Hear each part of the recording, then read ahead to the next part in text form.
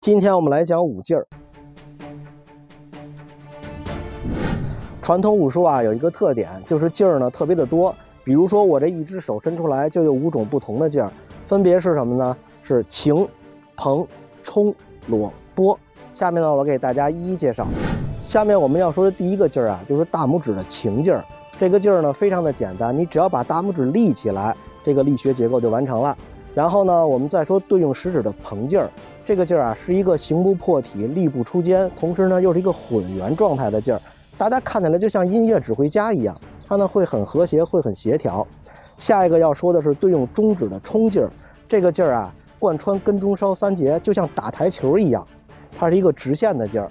然后呢，第四个对应的是无名指的裸劲儿，这个裸劲儿啊是抓握和旋拧同时存在的，就像我们拧毛巾一样。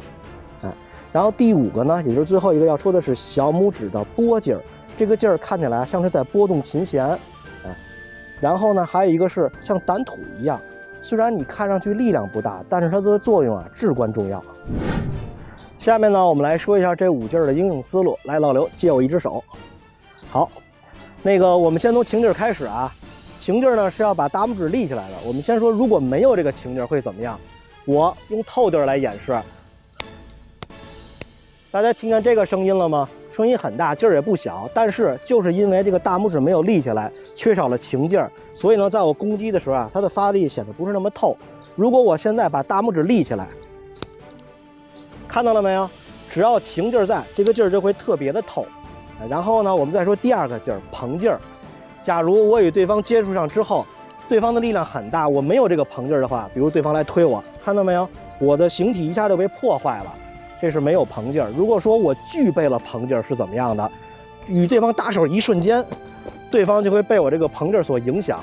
哎，然后我们再说第三个劲儿，中指的冲劲儿。当我与对方要搭手的时候，对方攻击，这是一种情况。还有当对方再来，哎，这都是冲劲儿的体现。下面呢，我们再说无名指的裸劲儿。当我与对方再接触的时候。结构接触之后，然后对方呢要抓我的小臂，这个时候我将计就计，用这个螺旋加抓握这个劲儿改变对方的力学结构，对方被我控制了，这个时候就是无名指的裸劲儿在起作用。哎，最后一个劲儿呢是小拇指的拨劲儿，这个劲儿啊虽然力量看起不大，但是它的作用至关重要。当对方向我攻击的时候，注意这一瞬间改变了对方的力学方向。然后我就可以去攻击对方了，嗯，这个呢就是这五劲儿的应用思路。这五个劲儿啊，并不是招式，但是招式呢都是根据这五个劲儿而来。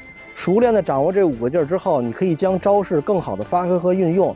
比如我们把情劲儿带入到八卦掌的，呃，所谓的外开掌也好，腋下藏花也好。如果啊我没有这个情劲儿的话，那你看我这个动作是不是特别的单薄，像纸片儿一样？如果我现在有这个情劲儿了，那么我把身体的重心带起来之后，你看这个力量是不是非常的浑厚？这个时候可以发挥擎劲儿的功效。然后我们再说食指的膨劲儿，我们以太极阴阳鱼这个功法来举例子。如果我不把食指伸出来，我缺少了这个膨劲儿，嗯，这个各位看见是不是感觉怪怪的，对吧？如果现在我把食指伸出来，把膨劲儿用上，这时候大家再看感觉怎么样？是不是一下都不一样了？哎，然后我们再说。中指的冲劲儿，我们以白蛇浮草为例，这个力量呢非常的快，非常的大。如果我不具备这个冲劲儿，大家看是不是软绵绵的？